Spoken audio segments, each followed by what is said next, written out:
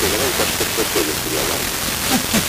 Öyle. Tetikçi yalancı kullanırlar yani. Yani yalan tetikçi, aynen öyle. Ee, Sayın Tarhan, şimdi biz yerli üretim yalan makinesinden söz ediyoruz. Dünyada kendine özgü, kendi kültürel özellikleri dolayısıyla üretilen yalan makinesi tasarlamış başka ülkeler, toplumlar var mı efendim? Şimdi şu anda Hollanda bu konuda iyi.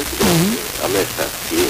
Yani onlar da tabii kendi e, kültürel değerlerini üretiyor. Yani kendi dünya olarak